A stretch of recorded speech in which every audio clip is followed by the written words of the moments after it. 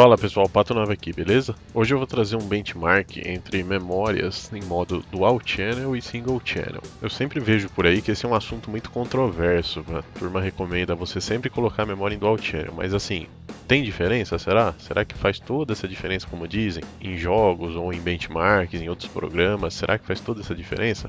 Vamos conferir aqui nesse vídeo. Os jogos que eu testei foram o Tomb Raider novo e o GTA V. E ali no fim do vídeo eu vou mostrar dois testes em dois programas também. E como a gente já pode perceber vendo os resultados dos jogos, a diferença foi mínima. E uma coisa que é muito engraçada é que na teoria o Dual Channel deveria ser mais rápido que o Single Channel, certo? Porém, pelo menos aqui no nosso cenário de jogos, não fez diferença nenhuma. Até tivemos alguns resultados aí que o single channel chegou a ficar um pouco acima, mas não podemos considerar que seja uma diferença significativa. Agora, nesse teste que eu estou mostrando acima, é o Cinebench R15. E no caso, ele força mais a parte de CPU, mas a memória é muito importante também.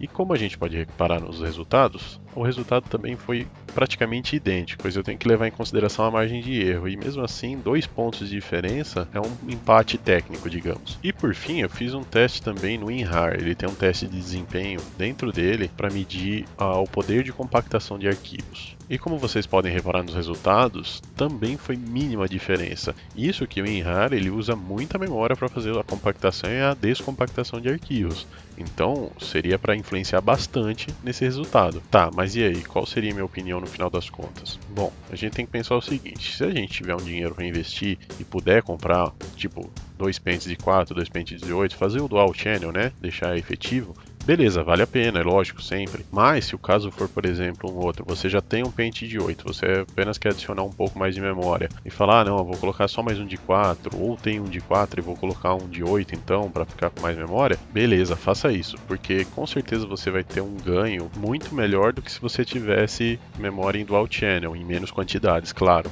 Beleza, pessoal? Espero que vocês tenham gostado. Se vocês curtiram, cliquem em curtir, compartilhe e se inscreve no canal para receber as novidades. Um grande abraço para vocês e muito obrigado.